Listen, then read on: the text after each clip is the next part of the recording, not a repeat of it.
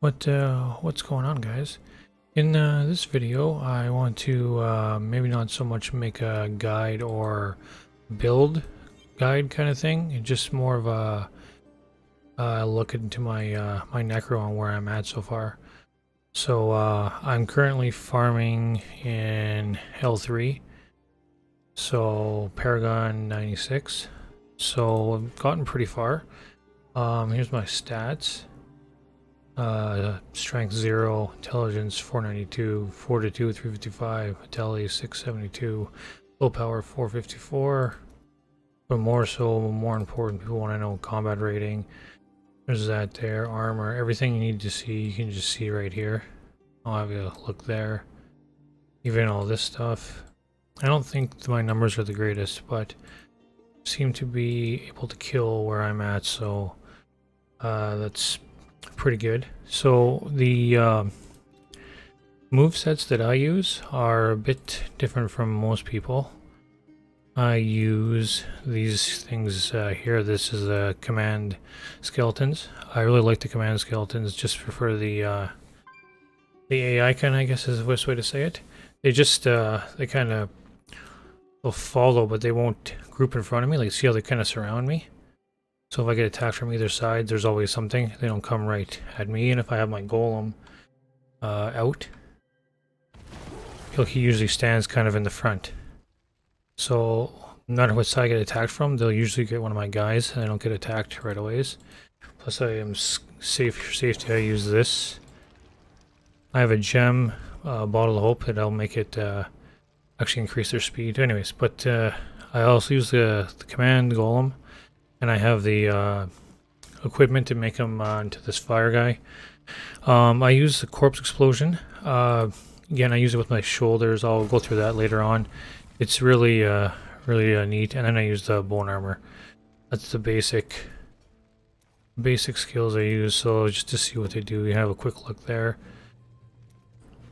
But uh, they all kind of coincide with the legendary gear I use, which I will guess I'll just go over now.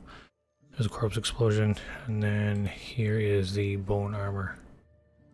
Okay, and then, uh, yeah, we'll go through this. So, I use the, uh, this guy for the uh, command uh, golem duration, uh, increased by 30%, and I guess it's hard to see here, but We'll actually cast them, and I guess we'd have to wait. I don't want to make you guys sit and wait, but it'll actually uh, coincides with my shield, and actually will die. You know, split into two, and then I'll actually have a golem up consistently. I'll have two little ones for like four seconds, and I can cast him again. So hopefully, maybe he'll die here. Let me give it a second, or just wait, just so I can kind of show you what it looks like, but. It's not, uh, so now I have two little guys. And the uh, cooldown's almost up, so there we go. I actually have three golems, because it overlaps. So I constantly have a golem up, so I really like uh, that. Because these guys do quite a bit of damage. So, going back in, we did this. Right, yeah. That just makes them last longer. That makes them split into two. Okay, this, uh armor I use? Oh yes, this makes uh this is the one that gives the uh the bone armor to all my guys. Makes them immune here make this all prevent damage and split in single hits. This is actually pretty cool. I like this one quite a bit. Um then I also use this. This is for my corpse explosion. I really like this. Um this makes the uh, corpses uh, actually get up and they'll walk towards an enemy and then they'll blow up. It looks like uh, looks like spiders or something. It's actually pretty cool. Uh, the reason why I like that so much is because uh, corpse explosion is pretty good by itself, but the fact that it um, will get up and actually go at the enemy makes it hit more consistently. It actually does more damage, so actually works out pretty good for me.